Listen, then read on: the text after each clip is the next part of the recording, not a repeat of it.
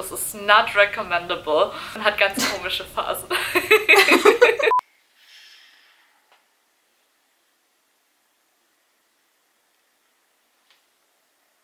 Hi! Hi! Endlich!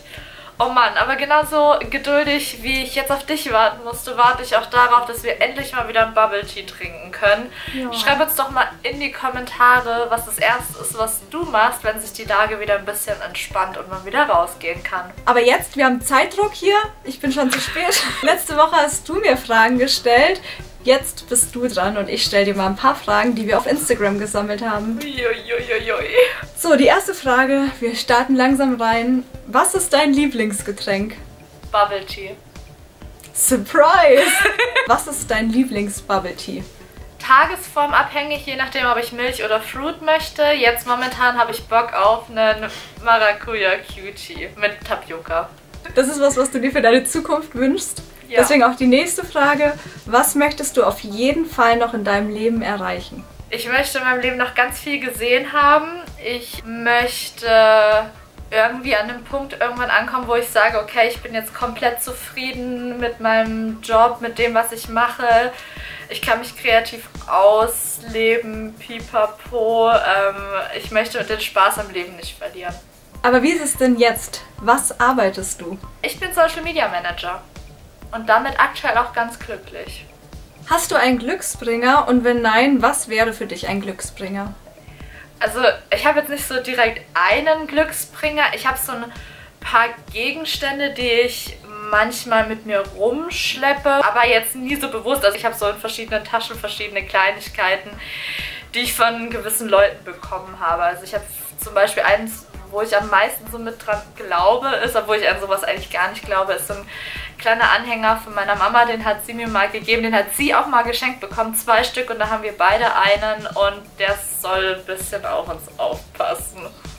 Voll süß. Nur noch ein Nagellack. Welcher? Ich glaube...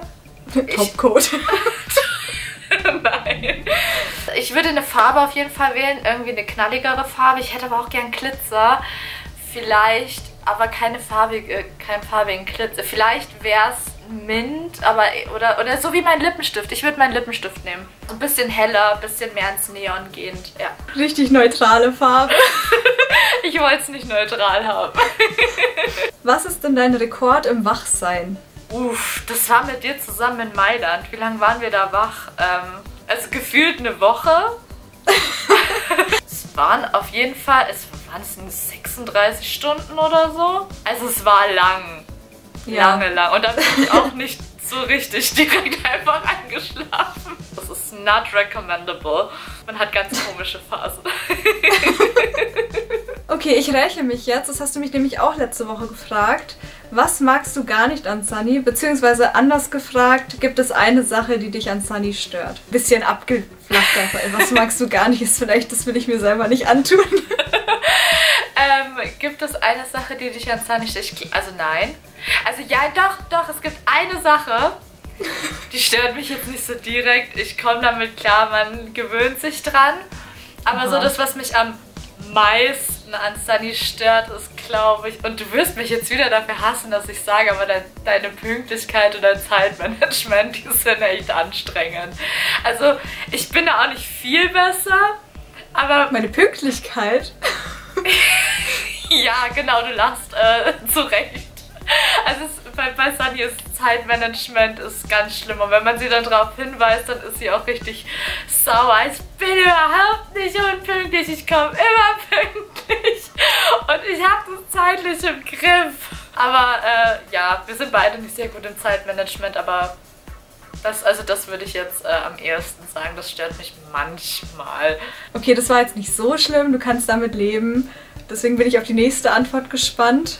Bubble Tea oder Sunny? Ich, also als du gesagt hast Bubble Tea, war mein erster Impuls, scheißegal, was da jetzt kommt, das ist Bubble Tea. Dann kam das Sunny, das war nicht so cool. Dann war es noch klarer. Dann war es noch klarer. Aber dann hatten wir schon mal so eine Diskussion und die fand ich eigentlich ganz schlau. Ich glaube, ich würde mich, auch wenn es mir sehr schwer fällt, für Sunny entscheiden, aber nur, weil ich glaube, dass Sunny ein Herz für mich hat und mir dann regelmäßig Bubble Tea mitbringen würde. Oder? Würde ich, ja. dann nehme ich dich. Aber nur dann. Das ist jetzt eine sehr offene Frage.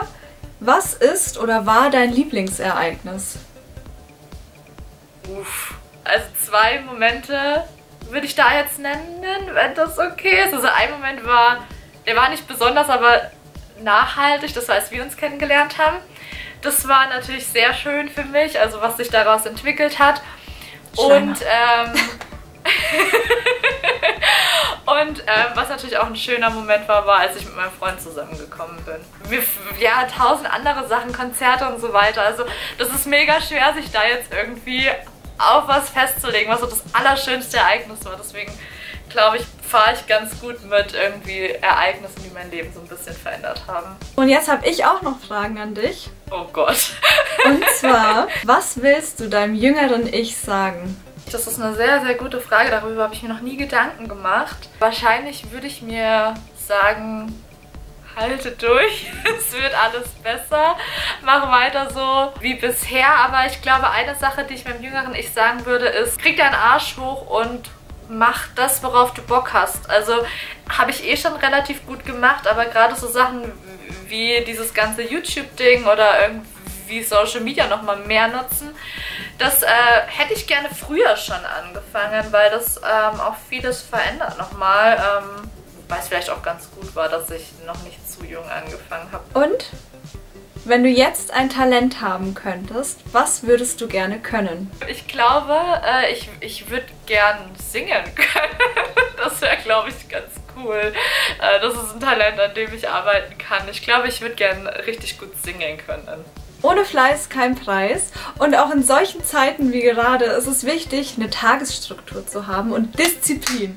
Und deswegen schreibst du uns jetzt mal in die Kommentare, wann du denn so aufstehst. Was du direkt nach dem Aufstehen machen kannst, ist auf jeden Fall dir anzuschauen, wie Sunny auf meine Fragen und auf deine Fragen geantwortet hat. Was ich da nicht beantwortet habe, ist, wieso ich nackt in der Öffentlichkeit war. Aber das siehst du in Dingen, die nicht witzig sind. Und Nummer 6 wirst du nicht glauben. Tschüss. Tschüss.